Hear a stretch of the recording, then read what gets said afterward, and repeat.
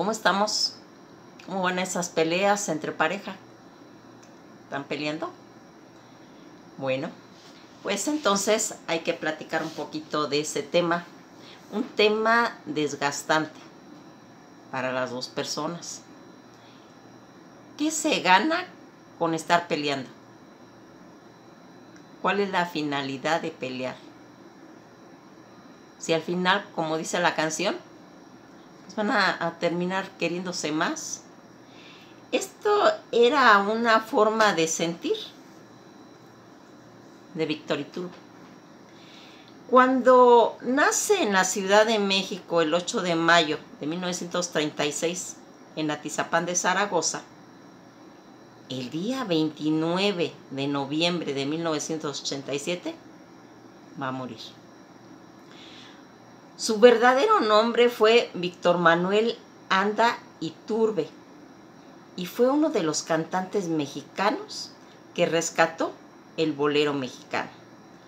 Considera, considerado como uno de los mejores intérpretes de este género en el país, uno de los mejores intérpretes que dio gala y resurgió de entre las cenizas al bolero.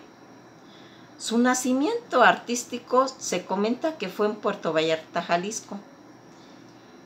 Aquí vamos a ir dándonos cuenta cómo todos estos discos que él va a ir elaborando, pero fíjense en lo que pasa, va a rescatar a todas esas eh, figuras de renombre y ponemos como ejemplo al primer requinto de América, Chamín Correa. Él empezó a hacer ese grupo con esos integrantes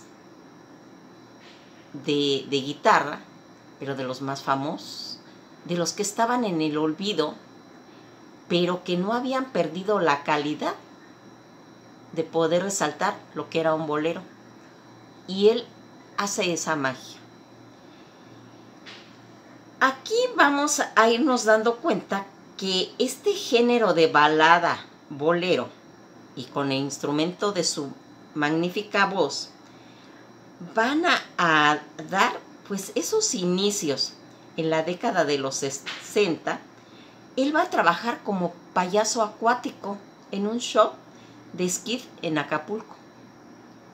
Tras un accidente en la columna que pasó en marzo de 1964, se aloja en el Hotel Posada Vallarta, donde va a empezar a cantar profesionalmente en el bar del hotel.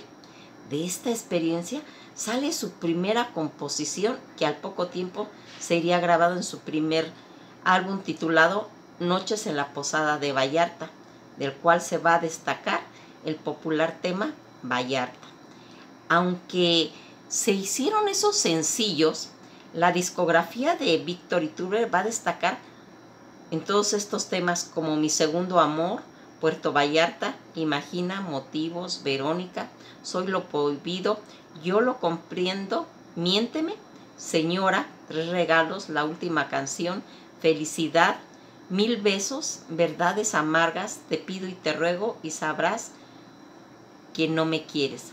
Algunos, fíjense en lo que se va a ir haciendo esos datos sobre la vida de esta persona, de niño dicen que él montaba caballo, parejeo con su padre que se dedicaba a la charrería, gusto que va a rescatar él más tarde y adquirir su propio rancho y a organizar diversos inventos con los, eventos con los charros de Puerto Vallarta. El apodo de Piruli se originó en el tiempo que Víctor trabajaba como payaso acuático. En una presentación perdió el equilibrio y como no sabía nadar se aferró a los esquís para no ahogarse y el locutor que entonces narraba lo que estaba sucediendo exclamó, miren, parece un pirulí. El primer disco del pirulí titulado Noche de Posada en Vallarta y editada en 1964, fue un producto especial encargado y patrocinado en su totalidad por entonces el dueño de la posada de Puerto Vallarta. Fíjense cómo atrás de las historias de las personas nos vamos a ir dando cuenta ese sentimentalismo. Eh, si él no hubiera sido payaso, no hubiera alcanzado esa interpretación en su música, porque es un toque especial que no todas las personas tienen. Ser payaso es difícil, porque es hacer reír, pero al mismo tiempo puede hacer llorar, y eso es muy difícil. Dicen que hacer llorar es más fácil que hacer reír, y el pirulí, al estar interpretando, tenía esas facetas donde él estaba interpretando y podía reírse a carcajadas o poner una cara muy triste. Y eso le daba un plus a todas las canciones. Peleas es un clásico que él vuelve a resurgir, pero a su manera. Una manera de interpretar con ese sentimiento que a las personas los hace reflexionar sobre la palabra, sobre la palabra peleas. Esto ha sido todo por hoy y nos vamos a ver en el próximo video.